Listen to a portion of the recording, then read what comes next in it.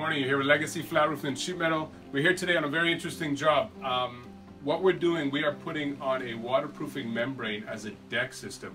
So there's no, going to be no need to put on a wood deck on top. It's called the Duradek system. We now provide it in London and Southwestern Ontario.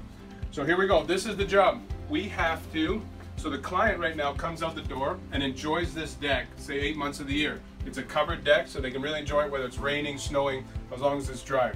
The idea now, they have a ceramic tile over the um, wood deck, over the wood substrate. We have to remove that. We have to remove the ceramic tile. We have to remove the wood substrate and reframe it all in and put the membrane. The problem with ceramic tile, when it's exposed to the elements, ultimately it's getting it's getting rotted out. Water's getting underneath, it's popping it. With the Duradek system, you're not going to get water underneath because it's adhered right to the plywood. So there we go. We've, you can see the tarping. We've protected the handrails and the glazing. We protected the columns. We have to remove all of this tile, clean up, the, uh, remove all the wood substrate underneath that. We also have some detailing around the door, around the siding. We also, just this is what it looks like from the backside. We left a little bit open so you can see it. So it's just a glass handrail.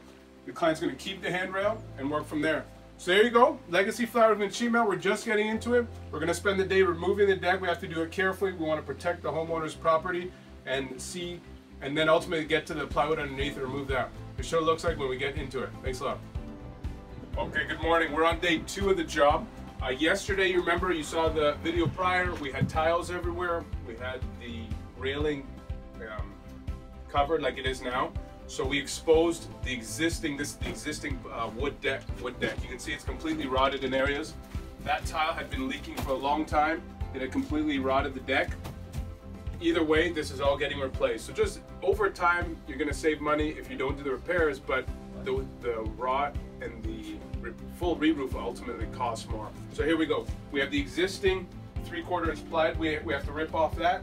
Make sure it's tapered nicely because when we put the new Duradek, we want a nice water. If water does get in, we want it to drain outside. We don't want it coming back to the house.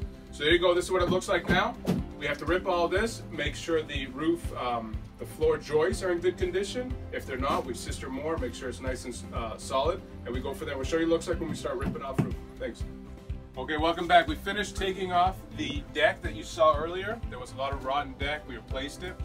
In the process of replacing the deck, we also got a lot of the insulation just dirty and stuff. You don't want to reuse it. We're putting in new insulation. We're going to put some new insulation here. Um, we also had to do some framing on the outside perimeter. That got done. So there we go. We've started putting insulation. We're going to finish that, putting an R20 insulation. That's a garage, so you don't have to go too crazy, but still an opportunity to keep the garage warm. Um, and then we're going to put some new substrate on top of that. Show what it looks like. Thanks.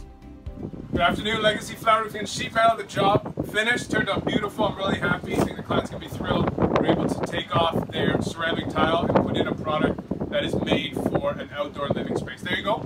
Uh, the Duradek laid down well. We had a bit of uh, work with the actual substrate. Um, in this, in a Duradeks system, your framing is going to be the number one. Ultimately, it's going to dictate how the rest of the job goes. So we had a bit of work. Uh, I was happy with the way it turned out.